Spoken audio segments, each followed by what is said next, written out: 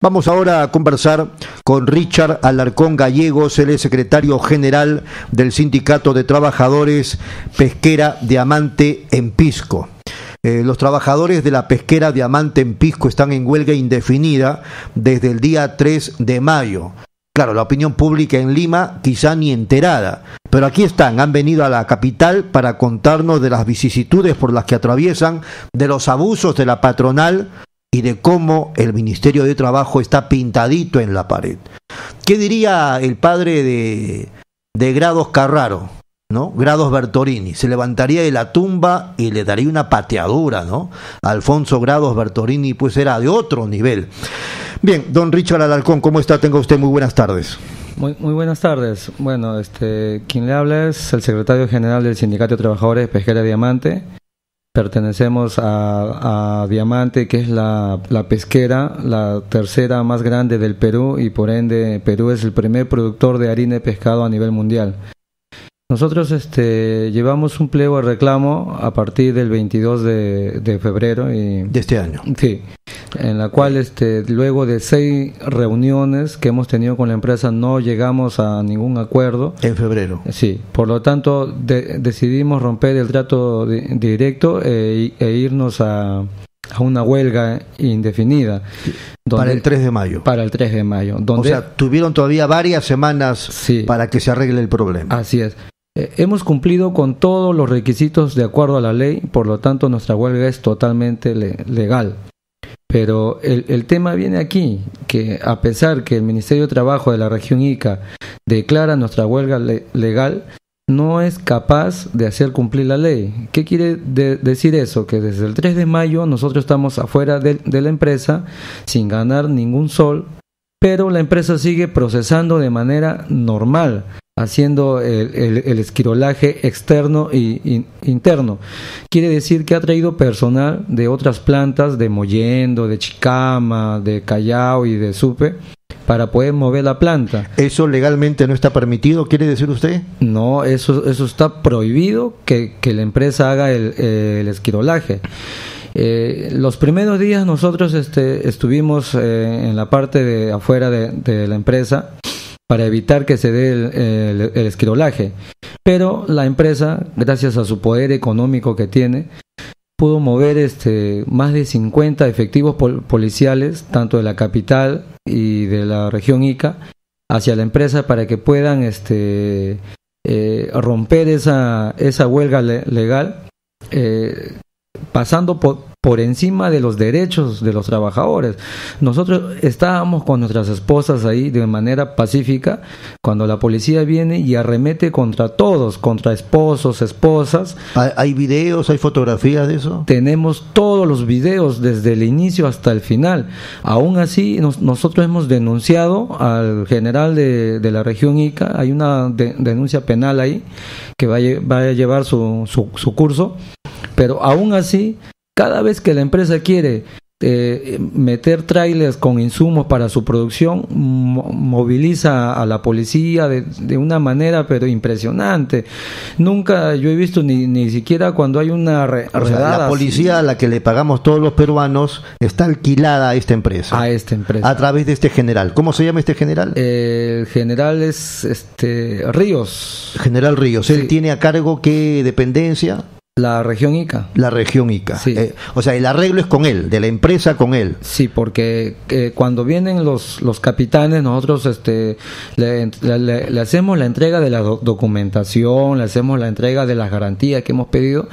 Estos señores lo único que nos dicen es, eh, yo vengo con una orden de arriba. Cualquier cosa, eh, hablen con ¿Eso dicen los policías, los suboficiales o lo dice el general? No, los capitanes. Los, capitanes. Sí, ellos dicen, yo vengo con una orden de arriba. Para ustedes no han logrado hablar con el general. No. Y le han mostrado eh, el, documento que establece que la, huelga es legal. Sí, no hemos podido porque cuando hemos ido no lo hemos encontrado y todo todo ese tema, ¿no?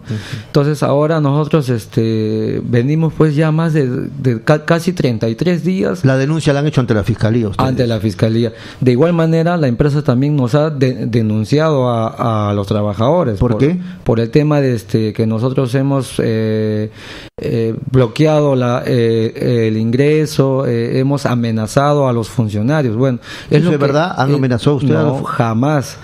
¿Han bloqueado el ingreso a la...? No, nosotros no. O sea, quien tiene que hacer cumplir eso, es, la ley, es la, la policía, la, la fiscalía pero la empresa hábilmente en una oportunidad pues este nosotros estábamos ahí haciendo la huelga y la policía viene arremete contra nosotros y lo único que nosotros tuvimos que hacer es defendernos pero no no no este eh, reaccionando sino teníamos que cubrirnos porque la policía venía con los escudos, con los palos y, a punte palazo nos sacaron de ahí, nos, nos trasladaron a un costado, ingresaron los camiones, una vez que los camiones pues, descargaron todo, salieron los, los camiones, ya la policía vio cumplido su, su fin y se procedió a, retirar.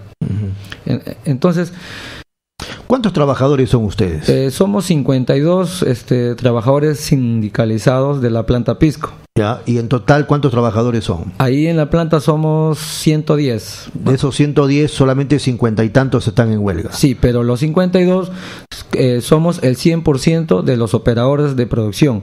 El saldo son ayudantes y son personal de confianza de la empresa. O sea, en producción no hay nadie. No, no debería ver nadie. No, no hay nadie, claro. En el, en el digamos, eh, en la práctica han sido reemplazados por trabajadores de otro lado. De otros lados. Cuando eso no se puede hacer no se puede hacer. ¿no? Entonces, este, desde ahí... Eh, el otro tema, eh, ¿por qué no se pusieron de acuerdo en febrero? ¿Cuál es el motivo o las motivaciones por las cuales se rompió el diálogo? Bueno, Ahí hay dos temas, mire. Eh, en, primer lugar, la, empresa siempre decía que venía de una pérdida de 10 millones de dólares en el 2016, ¿no? Y que solamente este, podía darnos 5 soles de aumento. Nosotros pedíamos, ¿Cuánto es lo que perciben ustedes? En otros, promedio. En un jornal estamos en 60 a 65 soles. ¿Eso es eh, eh, al día? Ah, sí, diarios. Diarios, 65 soles diarios. diarios. Pero el, el, sector pesca se está moviendo en algo de 70 a 75 soles. ¿El trabajo es de lunes a viernes? ¿Cómo es el tema? Eh, en temporada de producción trabajamos de lunes a domingo y, y con, con el sobretiempo, ¿no?